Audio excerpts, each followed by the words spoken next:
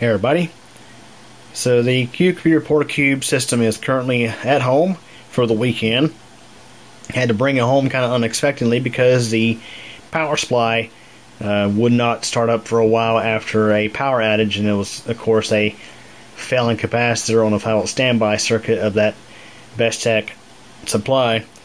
So I got that repaired, and this thing's back up and running. Didn't have to do any hacks or tricks to jump start it. Just plugged it in, started it right up. So, since we got this home, we need to go and update this thing to Windows 11 23H2. It currently has, let's see here. Well, not control panel, we need settings. And let's look at systems and go to about. We are currently running 22H2, and it uh, does appear to have the newer um, update previews, which brought some 23H2 features to 22H2. But we definitely are going to get this thing upgraded 23H2 since we have a home. Now, of course, the interesting thing about this system, unlike most of the computers you see here on this channel, this computer does meet the Microsoft Elite class its requirements for Windows 11, so we don't have to use the hacks and the tricks install feature updates on this. We can just do it the normal way. So that being said, we're going to use Windows Update to install 23H2. And 23H2 is simply an enablement package for systems that do meet the Elite class system requirements. So let's go ahead and get this thing up to date on existing updates. So we've got the 2023 10 update for Windows 11 version 22H2, KB 4023057, and we got a .NET Framework update. So we're going to install those both. Okay, so we just completed those updates and it didn't require a restart. And you can see it's saying Windows 11 version 23H2 is available. So now we can go in and click on download and install it's asking, do you want to get the latest updates um, as soon as they're available? So yeah, we'll turn that on. So the thing is, while we're doing this, I want to go and talk about a little something. So in a previous video, I had a little discussion stating that since Microsoft will be releasing Windows 11 23H2 as an enablement package for 22H2, that there is a chance that computers not meeting the Elite Class system requirements will be able to update to Windows 11 23H2 without having to do any sort of hacks or anything like that. Well, of course, Microsoft, in their infinite wisdom, of course, denies the update to computers that don't meet the Elite Class system requirements. So, on a system that does not meet the Windows 11 minimum system requirements, you simply just will not get the notification that Windows 11 23H2 is available because Microsoft in quote, states that they, as part of the Windows Update process, it will do a check of your system to see if it meets the requirements and, as they call it, if there are any issues that would arise from installing the update, the update will not be presented to you. So, in simple words, if your computer does not meet the Windows 11 Windows requirements, you will not receive this update automatically. You'll either have to manually install Windows 11 23H2 using one of, I think, a couple methods.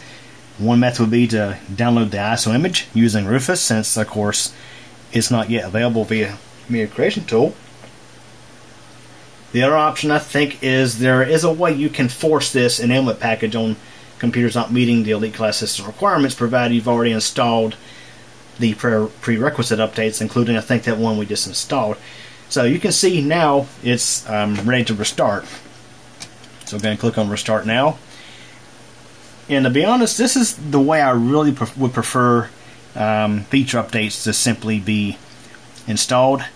And of course, in Windows 10, in the earlier days of Windows 10, feature updates were massive. They were essentially upgrade installations of your operating system, and four out of five times when I would install one, it would, something would break somewhere. It would break a setting somewhere, and it just it caused frustration. It caused issues. having it this way is much better. Now, of course, I think Windows 10 1909 was, I think, one of the first Windows 10 builds to be downloaded in a similar way. So you can see that it has installed, and now if we go into our settings here, you can see we are now running Windows 11 23H2 OS build number 22631.2428. Now, for example, before I wrap this up, let's switch over to the Plexi. So, of course, the Cube Computer Plexi does not meet the Elite Class system requirements for Windows 11. It has an AMD Phenom 2 6 core 1045T, which is well below the minimum requirements. This system doesn't even have UEFI firmware. It's traditional BIOS. Now if we go into our settings here and we look at our specs, which were conveniently already pulled up, you can see Phenom 2 X6 1045T, processor 2.7 gigahertz, Windows 11 Pro 22H2, 22621.2506. I think this is what you have to have in order to receive that download package. And of course, we go to Windows Update. Um, I think this might have been the update I was seeing earlier. Let's go and install these. You can see I've already got get the latest updates as soon as they're available option switched on. So we'll go ahead and let these install. So you can see that update just applied and now it says, oh, you're up to date. Whereas on the PortaCube system, it immediately um, provided us the opportunity to download and install the update to 23H2. So I'm going to hit check for updates and let's just see what happens. Now, of course, okay, we got no more updates. So Microsoft just quietly denies your system 23H2 when it doesn't meet the Elite Class system requirements.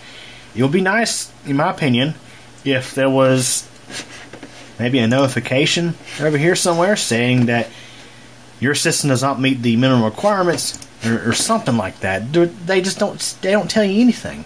So if you had Windows 11 installed by a shop and they um, install Windows 11 despite your system not meeting the minimum requirements, your system would just quietly not get the update automatically. And that's kind of an issue. But anyways, that could be a subject for another video. But of course, that's comparing the Windows 11 23H2 um, update installation behavior on a system that meets the Elite Class system requirements and a system that does not meet the Elite Class system requirements for Windows 11. So anyways, hope you enjoyed it. Thanks for watching. Hey everybody. Thanks for taking the time to watch this video from Cube Computer channel. If this is your first time, please subscribe to the channel and be sure to tick the bell so we get notified new video posts. Please like this video if you enjoyed it, leave a comment, and share this video as well as the channel with your friends and get the word out. Also, I have a second channel that's CubeComp MTDX. Over there, you'll find videos about thunderstorms and weather, cycling, and videos about me personally. Feel free to subscribe over there as well if you like. Again, I really hope you enjoyed this video, and thank you so much for your support.